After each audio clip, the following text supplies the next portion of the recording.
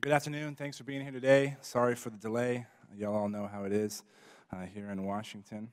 Um, this is an important hearing, and in the wake of, of the data breach of the Office of Personnel Management, uh, the committee remains deeply concerned with the federal government's plan to address cybersecurity. This do as I say, not as I do mentality is an affront to the American people and leaves our federal agencies and the PII of millions at risk. Today's hearing is the first in a series of hearings the Subcommittee on Information Technology will hold focus on the cybersecurity posture of federal agencies. This means not only compliance with FISMA, but also responding to the recommendations of an agency's Inspector General, as well as the GAO.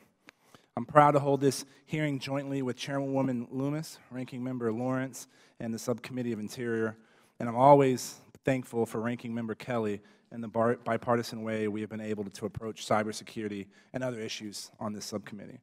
The first hearing this committee held on the recent OPM data breach, I advised agency CIOs across the federal government to pull out their past IG reports and get to work on addressing the vulnerabilities that have been identified. Ms. Burns, I hope you have come here today with a concrete plan to address vulnerabilities in DOI's systems um, pointed out by the IG and others. The Department of Interior Inspector General recently conducted penetration tests of publicly accessible computer systems and websites operated by DOI bureaus. What they found is alarming and is largely what brings us here today. The IG found nearly 3,000 critical and high-risk vulnerabilities in hundreds of publicly accessible computers operated by DOI bureaus. Let me repeat that number, 3,000.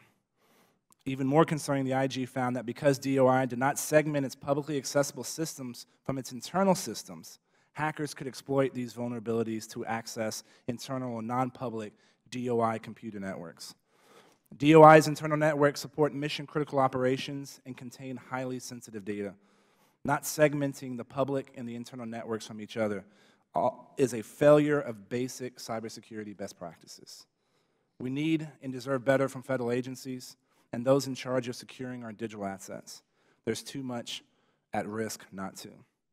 In addition, DOI hosted the OPM personal file database that was breached and resulted in 4.2 million former and current federal employees having their personal and private information stolen. Since then, Director Archuleta has stepped down, and rightfully so.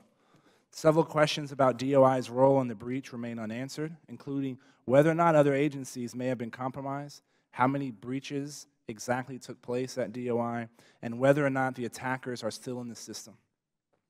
Both subcommittees look forward to today to having some of those questions answered. In closing, it is no secret the federal agencies have a long way to go to improve their cybersecurity posture.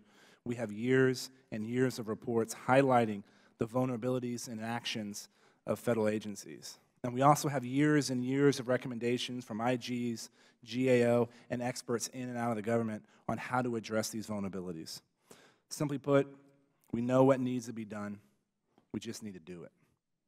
We need strong and capable leaders in place across the federal government to upgrade IT systems and shore up the current sorry state of cybersecurity at federal agencies.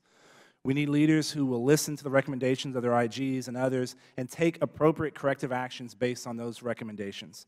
The status quo is unacceptable.